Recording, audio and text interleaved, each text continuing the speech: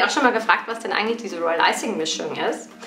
Das ist eine Pulvermischung, in der Puderzucker mit frischem Eiweiß schon verrührt ist. Das Ganze pulverisiert, sodass du eigentlich nur noch laut Packungsanleitung 60 Milliliter Wasser auf 500 Gramm verrührst. Das Ganze ungefähr 7 bis 10 Minuten gleichmäßig miteinander verrühren und du kriegst eine tolle Icing-Variation, wie es auch hier auf dem Serviervorschlag abgebildet ist. Du wirst jetzt ganz gut an meinem Beispiel sehen, wie groß die Packung ist und welche Menge du rausbekommst. Das heißt, wenn du weniger Kekse verwendest oder vielleicht heute ein bisschen weniger und am Wochenende dann wieder den Rest verarbeiten willst, wiegst dir ganz genau ab und dann kannst du es immer wieder verwenden, hat auch eine lange Haltbarkeit. Wichtig, luftdicht verschließen, wie du es kennst von Kakaopulver oder Mehl zu Hause. Und jetzt zeige ich es dir mal.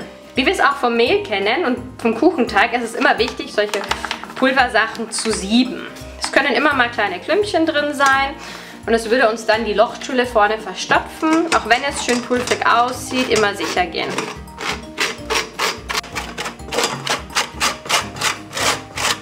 So, jetzt haben wir die ganzen 500 Gramm reingesiebt und laut Packungsanleitung geben wir jetzt 60 Milliliter kaltes Wasser dazu.